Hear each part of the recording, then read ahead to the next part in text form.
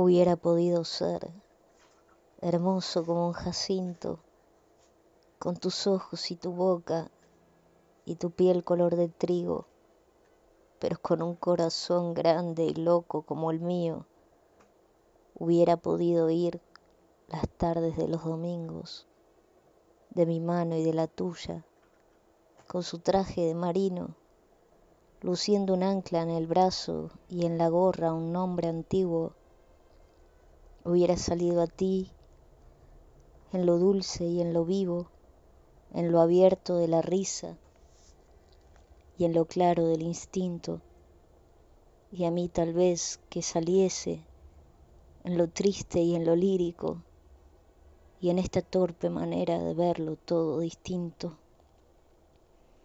Ay, qué cuarto con juguetes, amor hubiera tenido, tres caballos, dos espadas, un carro verde de pino, un tren con siete estaciones, un barco, un pájaro, un nido y cien soldados de plomo, de plata y oro vestidos. Ay, qué cuarto con juguetes, amor, hubiera tenido. ¿Te acuerdas aquella tarde, bajo el verde de los pinos, que me dijiste qué gloria cuando tengamos un hijo? Y temblaba tu cintura como un palomo cautivo, y nueve lunas de sombra brillaban de tu delirio. Yo te escuchaba lejano entre mis versos perdido, pero sentí por mi espalda subir un escalofrío y repetí como un eco cuando tengamos un hijo. Tú entre sueños ya cantabas nanas, de tierra y tomillo, e ibas lavando pañales por las orillas de un río. Yo, arquitecto de ilusiones, sostenía el equilibrio de una torre de esperanza con un balcón de suspiros.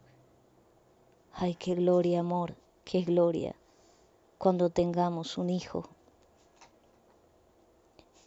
En tu cómoda de cedro, nuestro ajuar se quedó frío entre alucena y manzana, entre romero y membrillo, qué pálidos los encajes, que sin gracia los vestidos, que sin olor los pañuelos y que sin sangre el cariño, tu velo blanco de novia,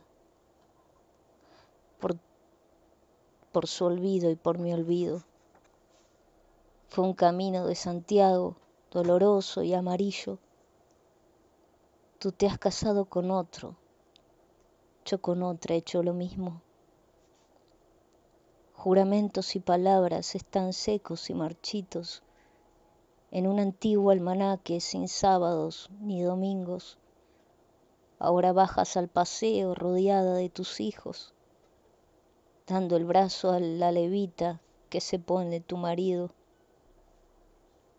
Te llaman Doña Manuela usas guantes y abanico y tres papadas te cortan en la garganta el suspiro. Nos saludamos de lejos como dos desconocidos. Tu marido baja y sube la chistera, yo me inclino y tú sonríes sin gana de un modo triste y ridículo. Pero yo no me hago cargo de que hemos envejecido porque te sigo queriendo igual o más que al principio y te veo como entonces, con tu cintura de lirio, con un jazmín en los dientes y el color como el trigo y aquella voz que decía, cuando tengamos un hijo, y en esas tardes de lluvia, cuando mueves los bolillos, y yo paso por la calle con mi pena y con mi libro, dices con miedo entre sombras, amparada en el visillo, ay si yo con ese hombre hubiera tenido un hijo.